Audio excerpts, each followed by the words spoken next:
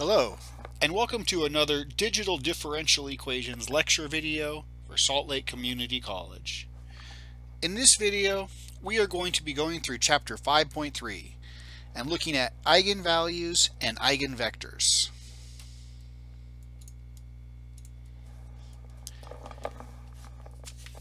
In Chapter 5.3, we study a special type of linear transformation from Rn into Rn. And so I'm specifically talking about a vector space onto itself again. In this transformation, the matrix A associated with the transformation will be square. With this type of transformation, we will be interested in vectors that remain parallel to the original vectors after the transformation. These vectors are called the eigenvectors and will have a corresponding eigenvalue.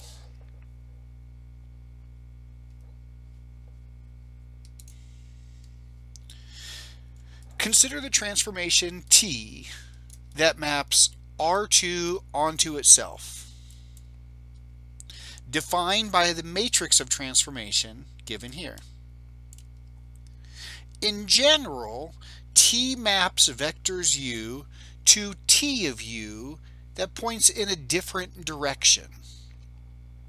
For example, if you apply t to the vector 1, 0, you'll get back the vector 1, 2. So the vector 1, 0 pointing in this direction got translated to a vector or transformed to a vector pointing in this direction. Similarly, the vector 0, 1 points straight up, but the transformation of this vector points in another direction. Or the vector negative 1, negative 1. The transformation of this vector points to the left, to the point negative 3, 0. For some vectors, such as 2, 1, and 1, negative 2, the transformation reduces to a scalar multiplication of the original vector. When we apply t to 1, 2, we get back 4, 2. Notice that this is 2 times the original vector, and graphically this shows that the, the new vector is parallel, or 2 times longer than the original vector. But it's a scalar multiple of it. Similarly, t of negative 1, 2 is going to become negative 3, 6, which is negative 3 times the original vector. So the vector negative 1, 1, negative 2 that pointed in this direction got transformed to a vector pointing in this direction. But notice that it's still parallel to itself. It's a scalar multiple of itself.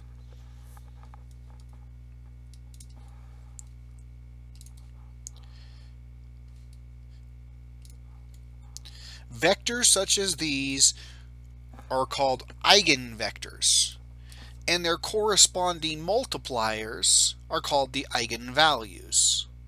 These are useful in understanding the mapping and important in several applications.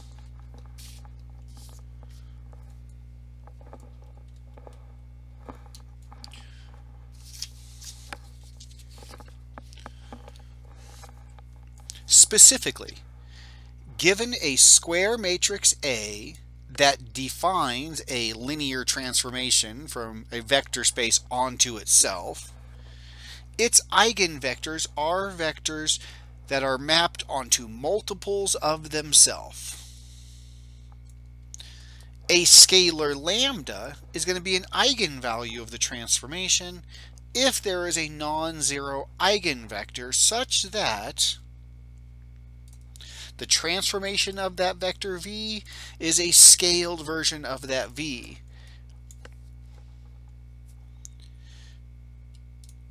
If the transformation matrix or if the transformation T is represented by an n by n matrix A, then lambda and V are characterized by the equation AV is equal to lambda V.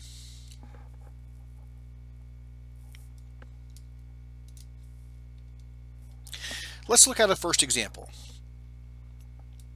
Let's verify that the vector 2, 1 really is an eigenvector of the linear transformation defined by this matrix A, and let's find the corresponding eigenvalue. So here what I'm trying to show is that when you apply t to the vector 2, 1, we can multiply that vector by our transformation matrix.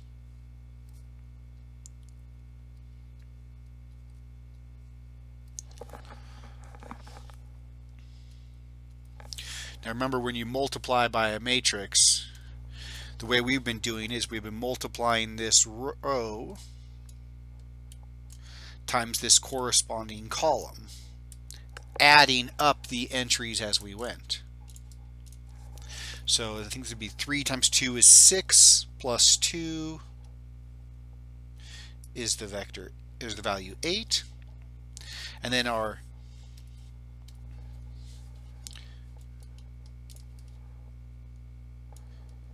second row times this column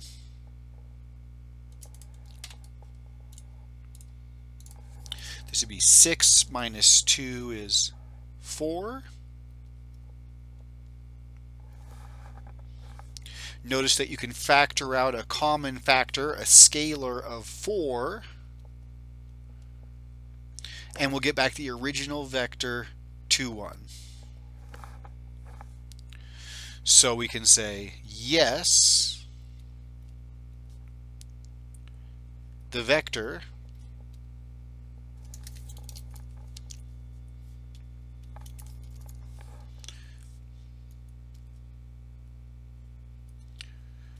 two one is an eigenvector.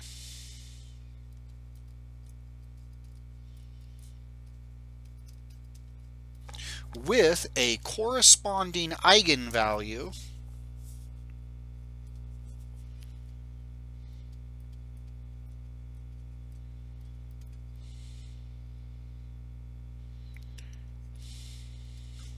I can't spell corresponding though corresponding n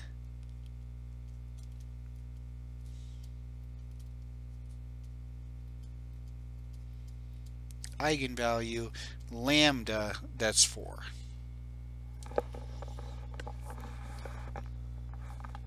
Now, in general, we're not going to be given these eigenvalues or eigenvectors. We have to find them on our own. So let's look at a method for how to find these eigenvalues and eigenvectors.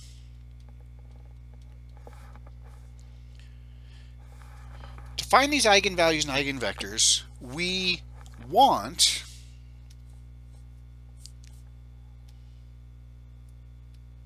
Oh, let me change my pen size here.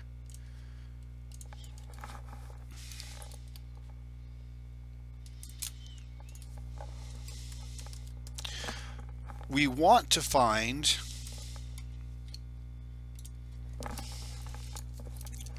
a vector x and an eigenvalue lambda that satisfy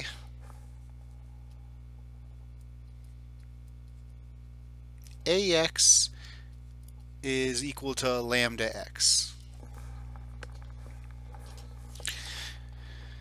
Notice that this is an equation with two unknowns.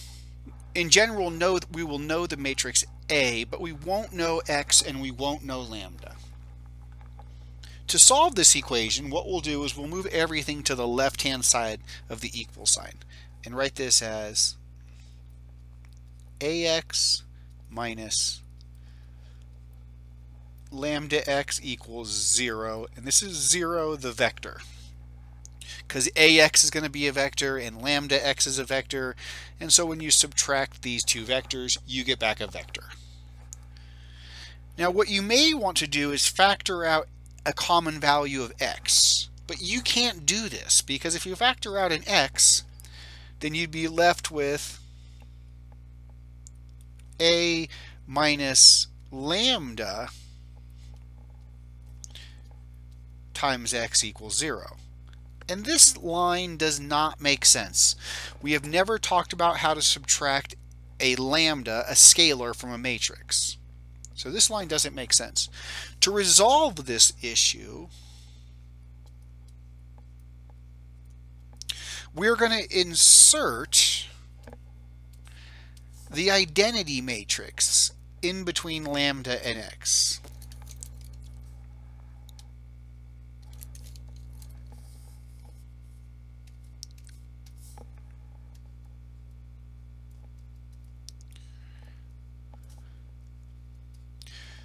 Where we can justify this is still equivalent because the identity matrix times any vector is that same vector by definition of what the identity matrix is.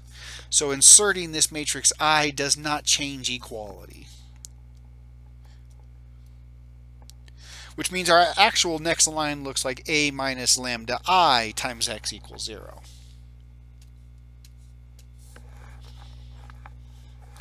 Now,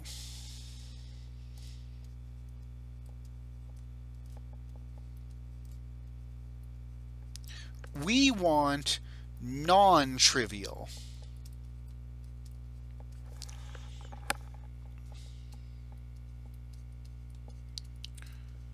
solutions to this equation, which means we want to find vectors x that are not the zero vector. Because if x was the zero vector, then this matrix times x would always equal zero trivially because anything times 0 is always equal to 0. So we're looking for non-trivial solutions, vectors where x is not 0.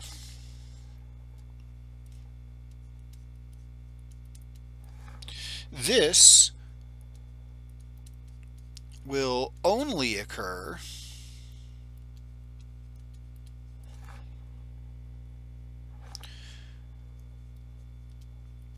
when the coefficient matrix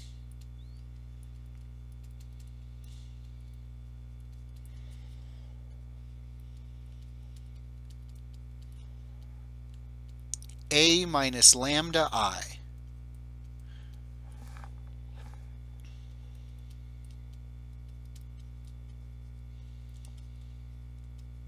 is singular. Now I treat this as a singular as a single matrix. Because recall, A is going to be a matrix. That'll be given to us. Lambda I, this is going to be a matrix. And so A minus lambda I is still a matrix. So although not written with a single letter, this all represents a single matrix. And you'll see this when we start doing our examples. So we're going to get non-trivial solutions when A minus lambda I is singular. Now recall this means that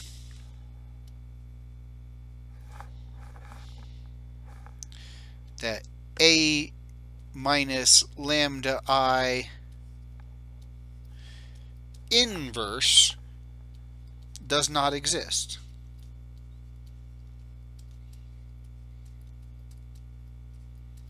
There is no inverse. This also means that the determinant of a minus lambda i will have to equal 0. And this is now 0, the scalar. Because remember, the determinant is always going to be a number. Another way to say this is that this only happens when a minus lambda i has free variables when you look at the RREF.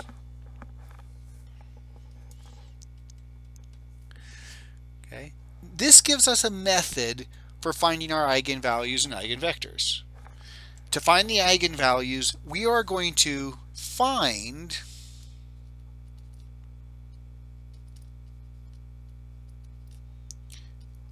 the eigenvalues such that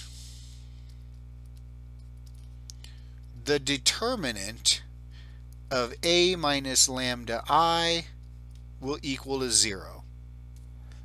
So we're going to find when this determinant is 0. Then we can find the corresponding eigenvectors by looking at the equation a minus lambda i x is equal to 0. Then these will be referred to as an eigenvalue eigenvector pair.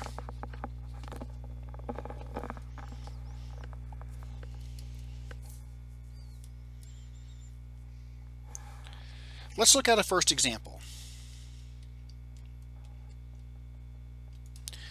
Consider the transformation T that maps R2 onto R2 defined by this matrix A. So this is your matrix of transformation.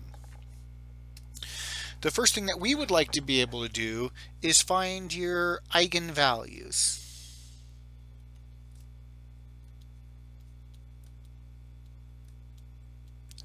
To find our eigenvalues, we require that the determinant of a minus lambda i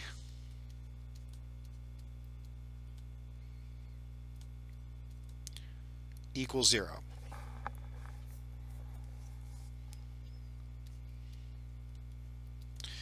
This is going to be the determinant of A, our original matrix, 1, 1, 4, 1 minus lambda times the identity matrix.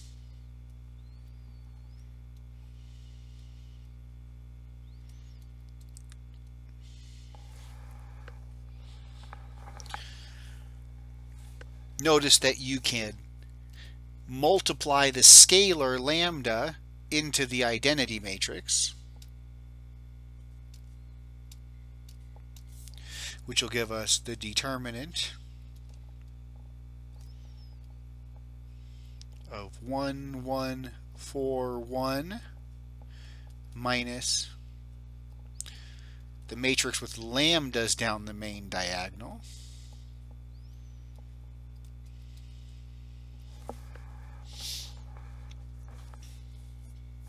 We require this determinant to equal 0. So now maybe we could subtract our two matrices and write this just as 1 minus lambda, 1, 4, 1 minus lambda. Notice I've changed my determinant notation here.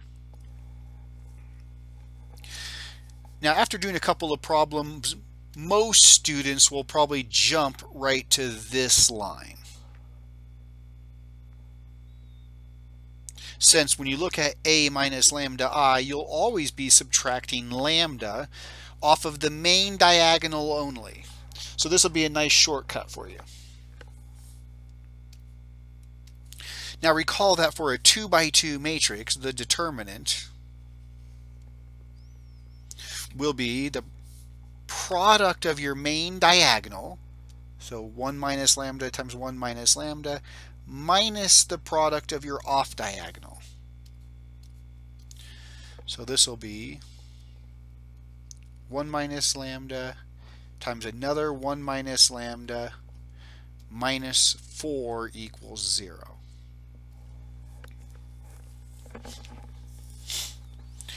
If you were to multiply these out, you think you would get 1 minus 2 lambda plus lambda squared minus 4.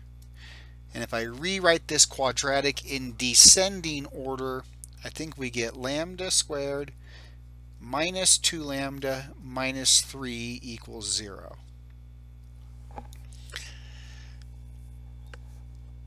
This is referred to as your characteristic polynomial in lambda. And for a 2 by 2 matrix, this is always going to be a quadratic. Maybe this quadratic will be factorable, maybe it won't, and you'll have to use the quadratic formula. However, this particular quadratic is factorable as lambda minus 3 lambda plus 1. this gives us two eigenvalues. Lambda 1 is equal to 3 and lambda 2 is equal to negative 1. These are the two eigenvalues associated with this linear transformation.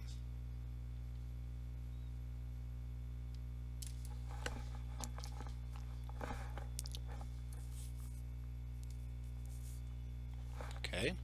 Now we move forward and we look for our eigenvectors.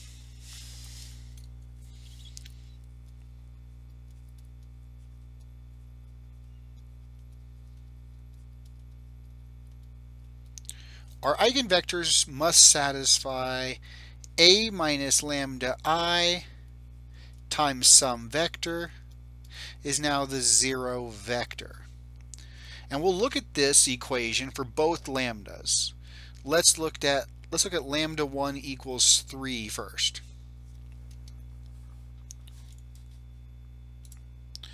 Now recall, to save us a little bit of time, that a minus lambda i this is a minus lambda i, always subtracts lambda, your eigenvalue, off of the main diagonal only. So when you subtract lambda off the main diagonal, this is going to give us a new equation. So let's look at, um, I'm, I'm, I'm going to look at that same previous line here. When you subtract lambda off the main diagonal, you'll have in the first entry 1 minus lambda, 1 minus 3, which is negative 2, 1, 4, and then 1 minus lambda, 1 minus 3 is again negative 2. Times some vector x, which I'm going to write as x comma y, and this has to equal the 0 vector. Now it's worth noting that the matrix A minus lambda I, this matrix, this must be singular. Or put another way, your determinant must be zero. And there's a couple of ways you can confirm that. Take your determinant. Here your determinant would be the product of your main diagonal, which is going to be 4, minus your off diagonal, negative 4, which is 0, which confirms that it's 0. Or you can confirm that this is singular because one of the columns is a multiple of the other. Notice that column 1 is negative 2 times column 2. 2. That V1 is negative 2 times V2, meaning these columns are not linearly independent. And if they're not linearly independent, then this matrix is going to be singular. Now what we want to find is a non-trivial vector x that makes this equation valid. And generally this is easiest, or most easiest done by inspection. You're looking for a vector xy that when you multiply this matrix you get 0. This is equal to saying x times your first column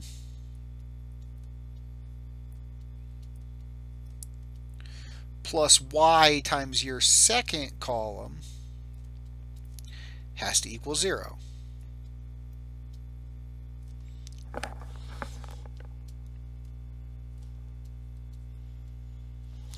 And what I'll generally do is just look at maybe just one line of this equation. What would you multiply by negative 2 and then multiply by y, by 1, so that this equals 0? And if it works for this first row, it'll work for the second row as well. So I'm saying, what if you let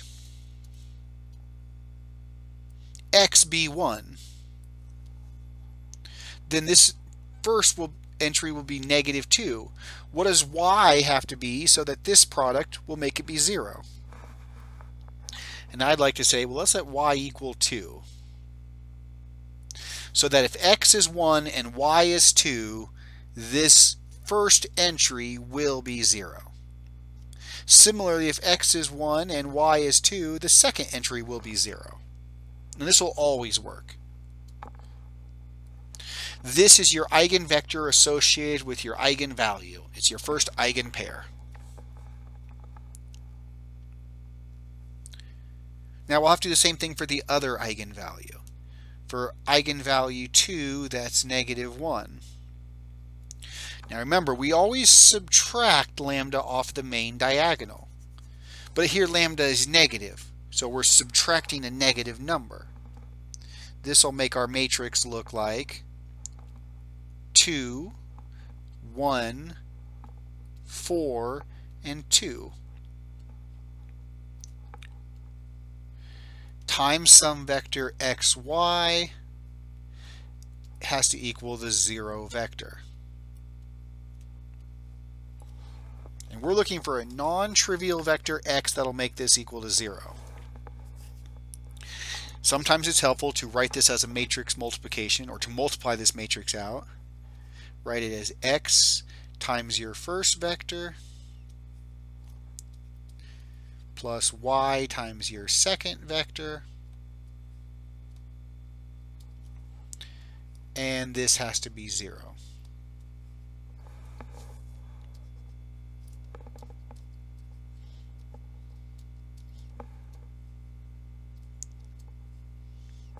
Now by inspection, again I want to ask what do you multiply by 2? What could x be? What do you multiply by 1? What would y be? So that when you add these together, you get 0. So I'm going to say, well, what if x is 1? If x is 1, then this first product is going to be 2. So I need y, I need this to be negative 2. And that's your second eigenvector that's associated with lambda 2 equals negative 1.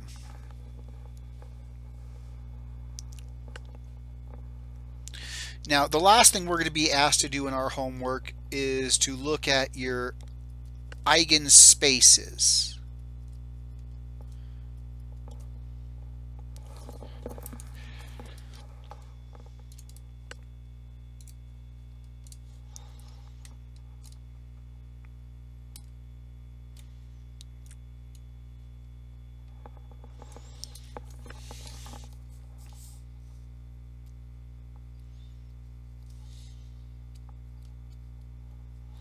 Your eigenspaces are going to be a visual representation of all the different eigenvectors we could have used.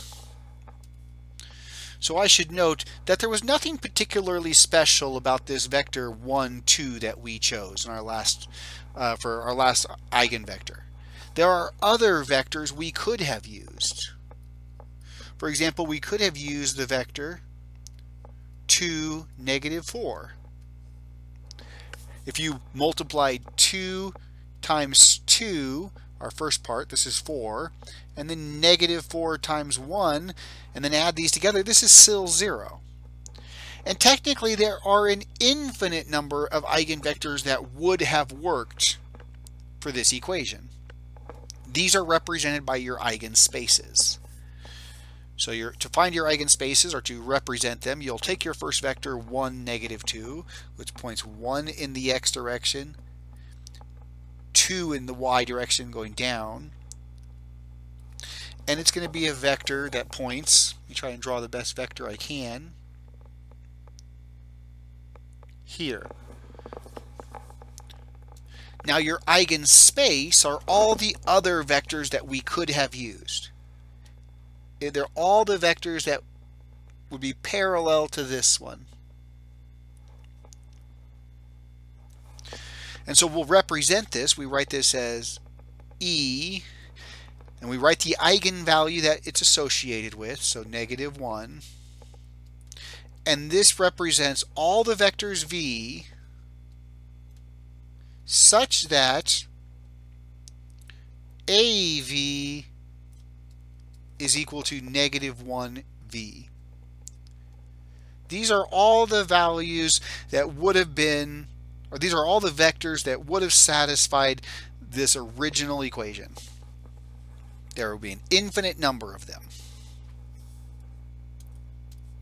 Similarly, our first eigenvector, 1, 2, 1 in the x direction, 2 in the y direction, it'd be a vector that points here. But that was not the only vector we could have chosen. We could have chosen the vector 2, 4. That would have also worked. If you multiply 2 times negative 2, that's negative 4. And 4 times 1, that's positive 4. And if you add these together, you'd still get 0. So this is another one that would have worked. But technically there's an infinite number, but they're all going to be parallel to the original. And this is represented by this eigenspace. And this eigenspace is called E3, represented by that third, the eigenvalue 3. and this is the set of vectors v such that AV is equal to 3V. Now in general, we don't actually do anything with these eigenspaces, but this identifies that yes, there are infinite numbers of eigenvalues that'll work. However, in your homework, it's your job just to find one of them. It doesn't matter which one you find, you have to just find one of them.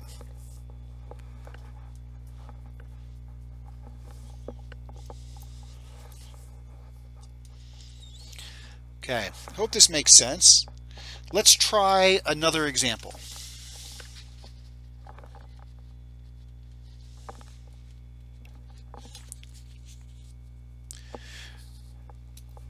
Consider the transformation T mapping R2 to R2 defined by this matrix. The first thing we want to be able to do is to find the associated eigenvalues.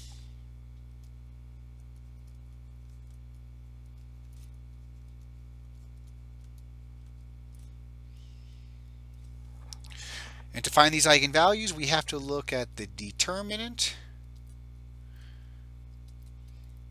of a minus lambda i equals 0, and that's 0 the scalar. Now I'd like to cut out some of the steps that I showed last time. In our last example, I showed all the manipulation of how to get from the equation a minus lambda i here but I'd like to just skip to this entry here that when we subtract lambda i from a we always subtract it off of the main diagonal. This will save us a good amount of work.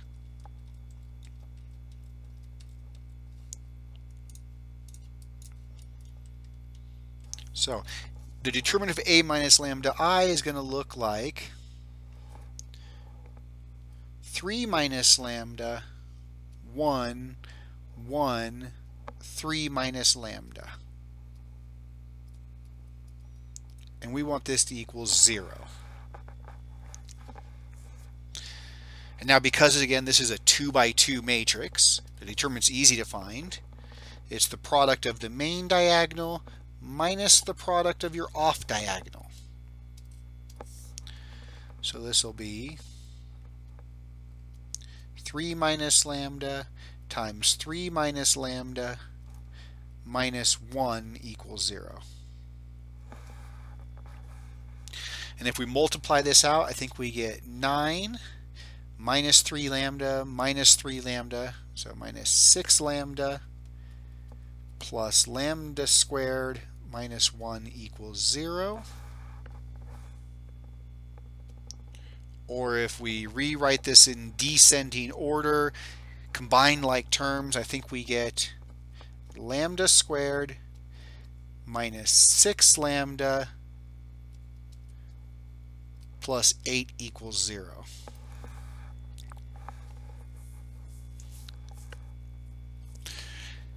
We're looking for solutions to this quadratic, which happens to be factorable as lambda minus 2 and lambda minus 4. This gives our two eigenvalues, lambda 1 equals 2 and lambda 2 equals 4. It does not matter if you switch the order of these, if you call one of them lambda 2 and one of them lambda 1, or you switch it. Because individually we're just looking for two eigenvalues and two eigenvectors. It doesn't matter which order you find them.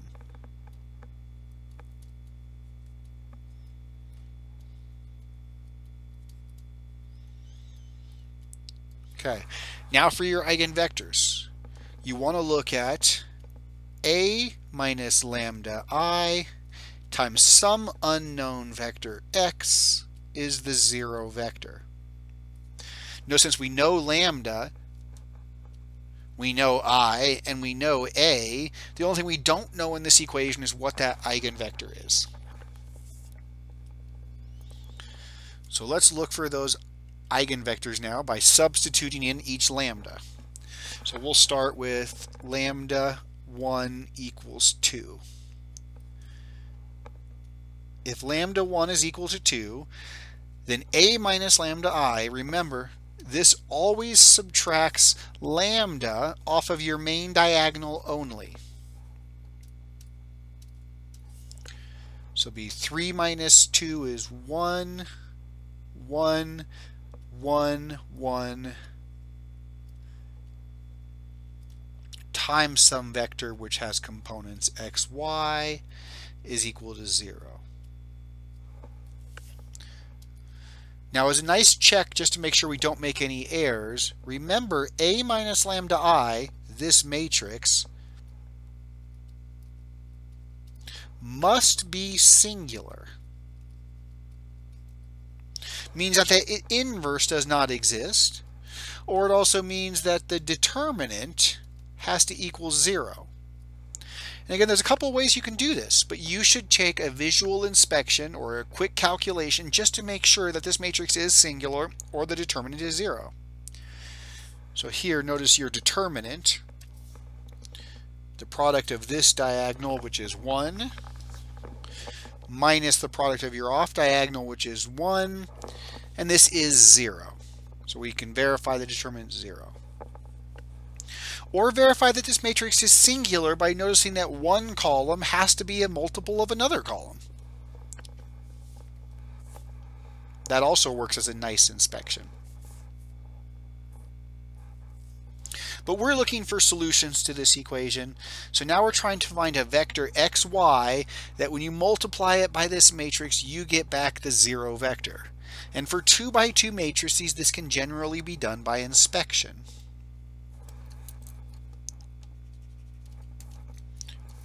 And if it helps, write this out as x times your first column plus y times your second column. And this has to equal the zero vector. By inspection, let's find this vector x. And I'll generally let x equal 1, the first value. If this is 1, then what does y have to be so that when you look at the entries in this first row.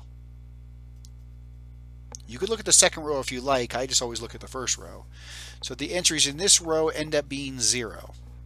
And I notice that if x is 1, then if y is negative 1, then you have 1 minus 1 is 0. So I'm going to take 1, negative 1 to be the associated eigenvector that goes with lambda 1 equals 2.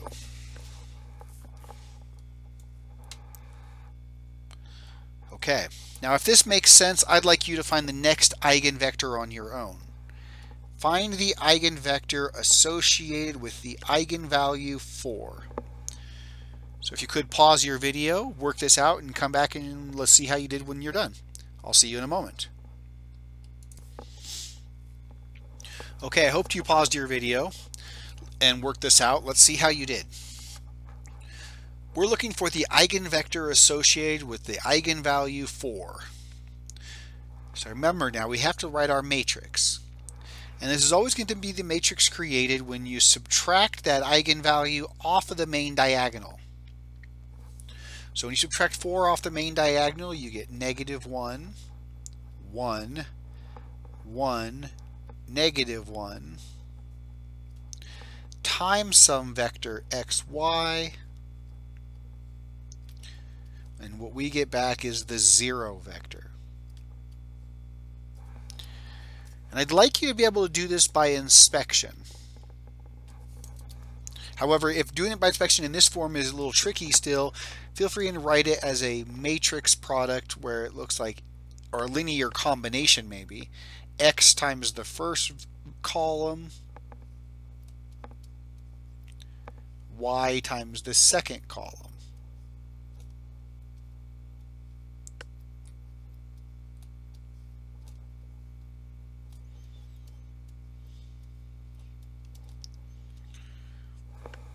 So we're looking for something that when you multiply it by negative 1 and then multiply y by positive 1 and maybe add these values, we'll get 0.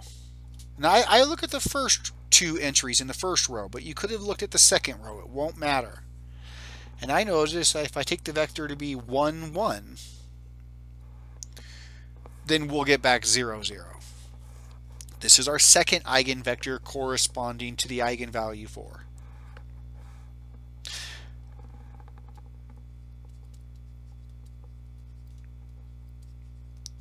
Now we show the eigenspaces. Remember the eigenspaces is a visualization of all the different eigenvectors we could have chosen if we didn't choose the two that we chose. What I'm trying to say is the eigenvalue vectors are not unique. There are an infinite number of eigenvectors that will work for each eigenvalue. However, they will all be parallel to each other. They'll all be scalar multiples of each other. What I mean is I could have chose the vector 2, negative 2, or I could have chosen the vector 3, negative 3. All of these will work as eigenvectors. However, we just want to find one, so we found this one. And now I'm going to represent all the eigenvectors that we could have chosen by looking at the eigenspaces. Now the vector 1, negative 1 moves 1 in the x direction, negative 1 in the y direction. And so 1, negative 1 is a vector that points in this direction. Now the eigenspace will be all the vectors that are parallel to this.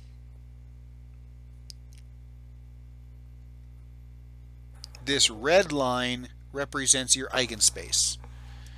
This is the eigenspace associated with the vector or the eigenvalue 2 and it represents all of the vectors v such that your matrix A times V is 2V. It's all the vectors that when you multiply it by A, that when you apply this transformation, they're a scalar multiple of itself. Similarly, grab your vector 2, which is the vector 1, 1. It points here. But this is not the only eigenvector that we could have used. We also could have used the vector 2, 2, or negative 3, negative 3. All these vectors would have worked, and those are represented by the eigenspace that's associated with this eigenvalue. It's parallel to the original vector that you found and can be described as E4 and it's all the vectors V such that AV is equal to 4V.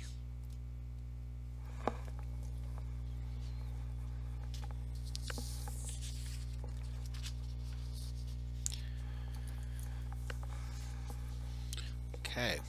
I'd like to try one more example like these two that we've done, but I'd like to give you a moment to do this one on your own. I would like you to find the eigenvalues and the eigenvectors associated with the transformation that maps R2 onto R2 defined by this matrix of transformation. So if you could duplicate the work we did in our last two examples, find your eigenvalues, find some associated eigenvectors, show me your eigenspaces. I'll see you back here in a moment uh, after you work on this, um, and we'll see how this goes. Okay, I hope you paused your video and found your eigenvalues and eigenvectors and your eigenspaces. Let's see if we can confirm.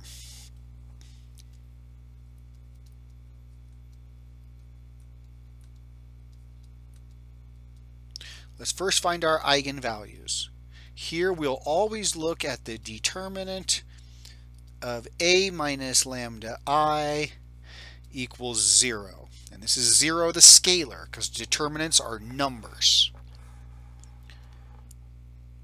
a minus lambda i will always subtract lambda off the main diagonal.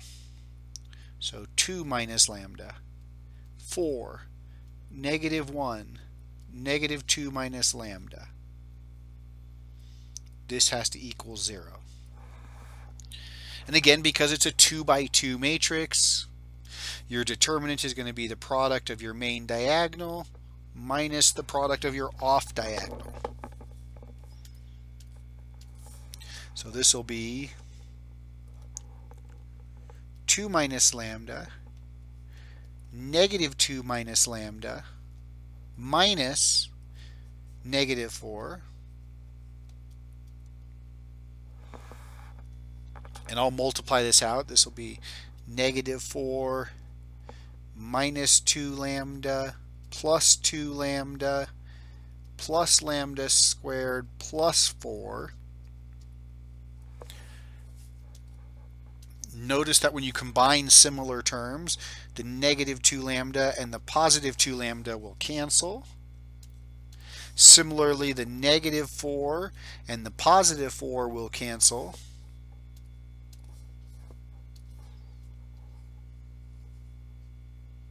which reduces down to lambda squared is equal to 0, which gives us a single eigenvalue in this example. The only eigenvalue we get is 0.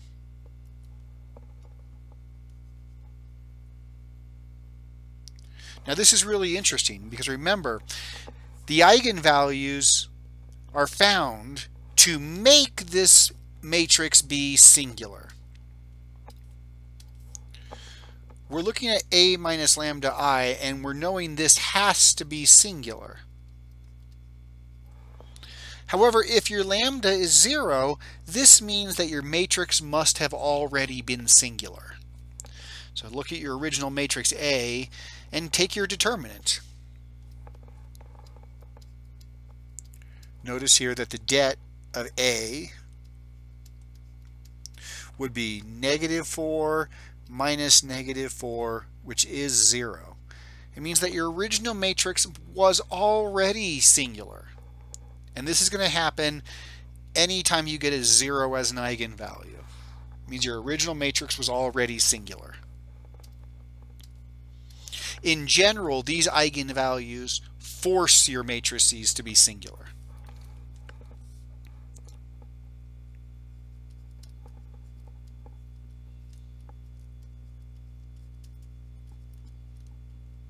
Okay, let's go look for our eigenvectors now.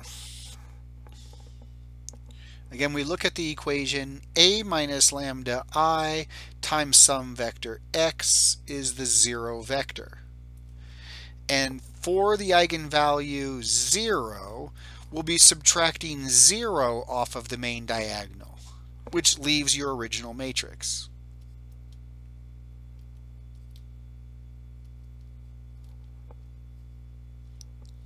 And we're looking for a vector x with components x, y, that when we multiply by this matrix, we get back the 0 vector.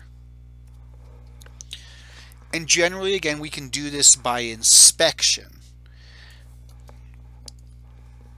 But what helps me look at this by inspection is to know that I'm looking for some value that I can multiply by the first column of A some value that we can multiply by the second column of A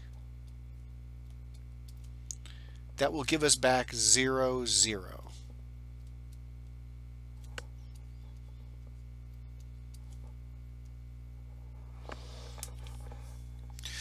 Again, you can use any row. I always like using the first row. So I say, what do I multiply by 2? And what do I multiply by 4? So that when I add these together, I get 0. And I'm going to say, well, what if x is negative 2? If x is negative 2, then this product will be negative 4, which means this product has to be positive 4.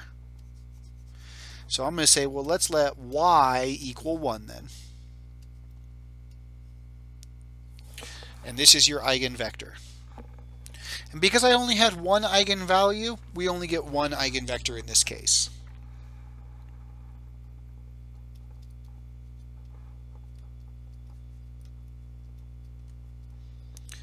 Now let's show the eigenspace. Remember, we in our class, we're not going to be doing anything with the eigenspace. This is just a visualization acknowledging that we didn't have to pick the vector negative 2, 1. There are lots of other eigenvectors that we could have picked. For example, we could have picked the vector positive 2, negative 1. That would have worked as well. If you did positive 2 times if x is 2, then this first one would be 4. And if y is negative 1, then this would be negative 4, and they would add to get 0. So, so there's others that we could have picked. But if we pick the vector negative 2, 1, this would be negative 2 in the x direction, 1 in the y direction. It'd be a vector to, that points to that coordinate. It'd be this vector. But the eigenspace represents every other vector that we could have picked, but it's going to be a line parallel and through that same line that we drew. This is your eigenspace, and it's the eigenspace associated with the eigenvalue 0. And it represents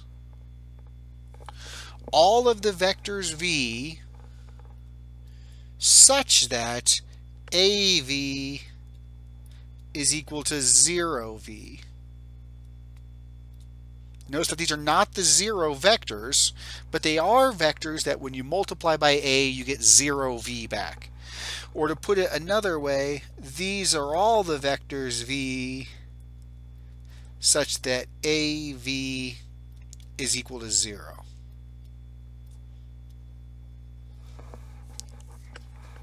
They're all the vectors that live in the eigenspace 0.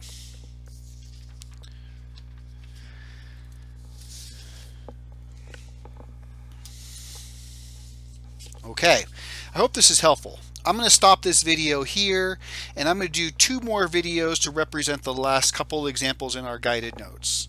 So I'll see you in those videos. I'll see you in a little bit.